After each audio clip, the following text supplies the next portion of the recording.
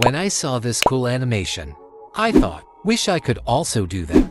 Well, don't worry after watching this tutorial you can also do it. To make this we will use Canva and CapCut.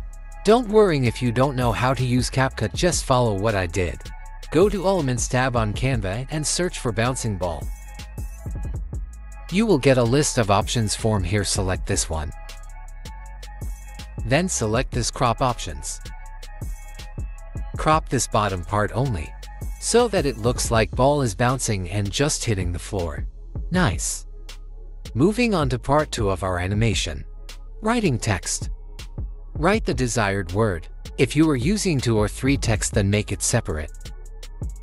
Now adjust the position of the text.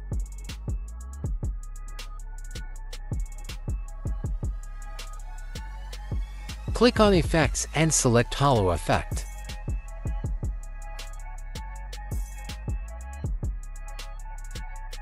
Then duplicate the page.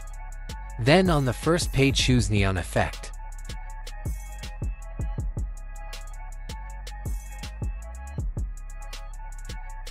Then again duplicate the page.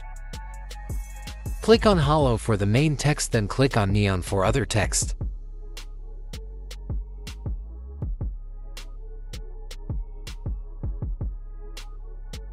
Now do this for other text as well. Since I have already shown you how to do it I will speed this process. Now come part where we will download the file. Click on share then download and make sure you check download pages as separate files. Designing part is complete now we'll edit all this file in CapCut. Bring your all files in CapCut. CapCut is free so you can easily do what I have shown in this video. Don't worry if you not used CapCut before I will show you all the process and details. First click on one video to bring it in our timeline. If you remember I told you to download file as separate, and this is reason. Now input all the design one by one. Bring the ball animation as well. Now you simply need to bring the ball animation on top like this. Now click on video then you will get this option to overlay. Select blend mode. Now it is easily blend over the text video. From here it is going to be a little technical so make sure you are fully concentrated. We want our ball to bounce like this. So first I will zoom out so that I can see my timeline in details. First make sure when the ball bounces. I know many will make mistake here by doing it like this. Just dragging it like this. What you need to do is adjust the ball on top position. Then click on position keyframe. Then move few frame forward then wait for ball to hit the ground then click on another position keyframe. This time bring the ball towards the text. You will get this smooth animation.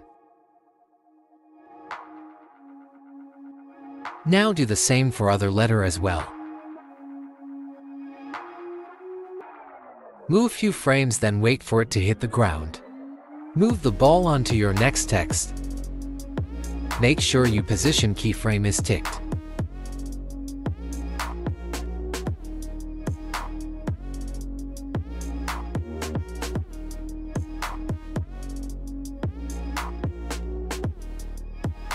Now again position it onto your last word. You guys can see the color is not changing. Well here is the hack to do it. You can see the keyframe in ball video. You simply need to come to each keyframe and split the letter video. And delete the back part. Now you can see our animation is shaping up. Do this same for other two letters as well. Come to keyframe then split.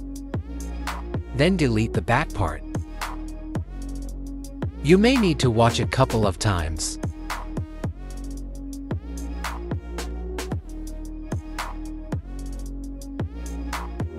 And we are almost done.